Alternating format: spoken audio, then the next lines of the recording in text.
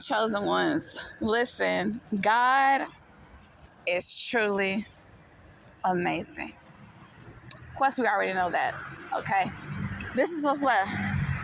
I would have got, I would have, because remember I told you guys I was gonna go live. I would have went live earlier. However, by the time I put the last gift on the table, people were already. I was wondering you was coming. Hey, you here? Good. I'm like, oh my god, y'all. One of my biggest blessing was a guy that worked for Spectrum.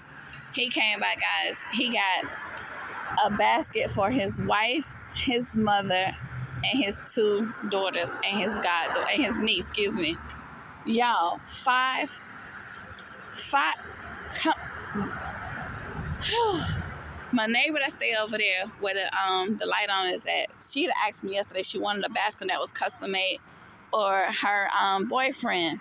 So when I got off work, I was in my feelings because I was like, I'm, I'm not gonna get out here in time.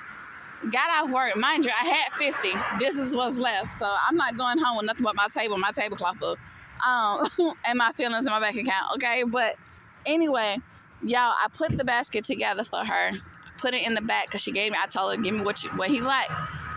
Yeah, this lady sat here and cried. I'm talking about real tears. She said she's never gotten anything custom for him that was custom made.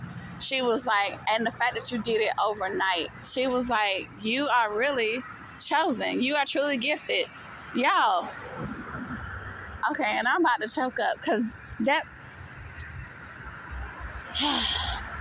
That's why we do what we do out here, guys. It's not even about making baskets. It's about leaving a memorable moment, a lasting impression for somebody to know that something was custom made for their loved ones, guys. It it don't get no better than this, friends. So this is what's left.